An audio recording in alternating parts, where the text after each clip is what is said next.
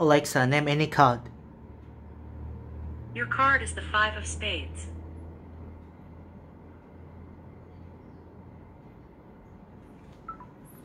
Okay.